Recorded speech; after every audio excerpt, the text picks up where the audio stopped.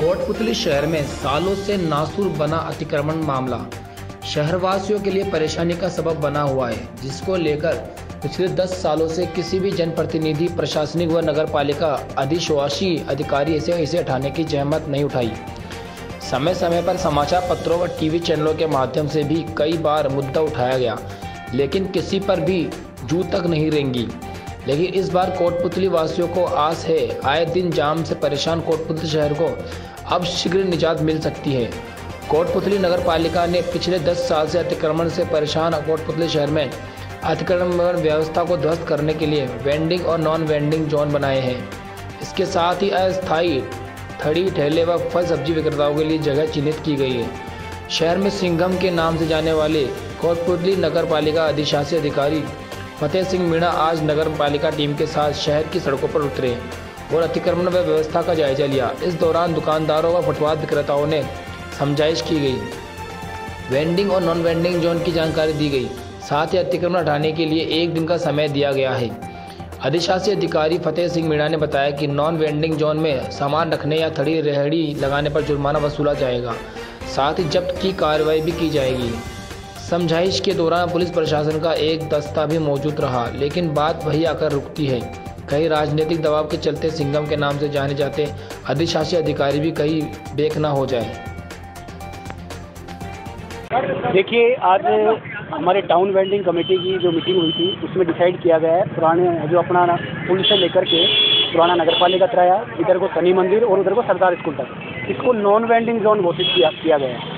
तो इस जोन में चूँकि नॉन वेंडिंग जोन घोषित कर दिया है तो ना तो कोई रेडी ठेले वगैरह वाले या जो भी बैठे हैं नीचे, जो लोग नहीं बैठ सकते।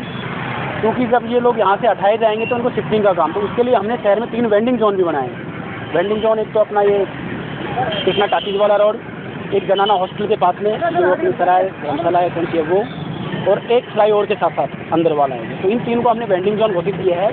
तो आज उन लोगों ने समझाइश कर रहे हैं कि कल से आप लोग अपने वहाँ लगाइए सारे के सारे। क्योंकि अब हमारे जो मेन जो मुख्य मार्ग है शहर का उसका भी रिनोवेशन का काम होना है और मास्टर प्लान के हिसाब से इसकी चौड़ाई भी तो हम जो अस्थायी अतिक्रमण है उन लोगों को अभी समझाइश कर रहे हैं कि आप खुद हटा लें। वरना जब रोड का काम चालू होगा तो पक्का अतिक्रमण वो भी हटाए जाएँगे। उसके लिए समझाइश की जा रही है। सर मैंने अभी जैसा कहा कि कुछ राजनीतिक कारण रहते हैं।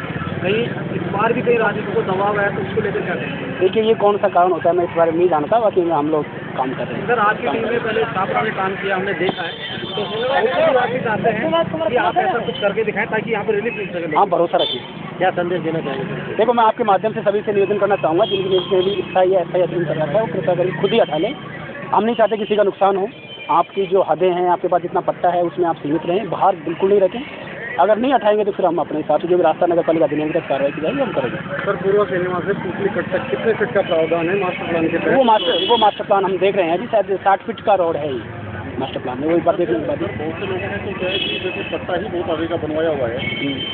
पालिका। नहीं देखो ऐसा है अगर पट्टे गलत जा रही हैं तो पट्टे खारिज भी हो सकते हैं ऐसा नहीं है। जो गलत चीज़ है वो तो हर चीज़ के लिए रिव्यू का अपील का वो बने हुए हैं तो हो जाएगी। सर लास्ट सवाल कोटपुतली की जनता आपसे काफ़ी उम्मीदें रखती है और ये जो आपने पहल किया इससे काफ़ी खुश भी नज़र आ रहे हैं। तो ये कायम रहेगी या किसी दबाव से? देखिए मैं उम्मीदों पर खरा उतरने की पूरी कोशिश करूँगा। बसलते आप लोग अनुसहयोग करें थोड़ा।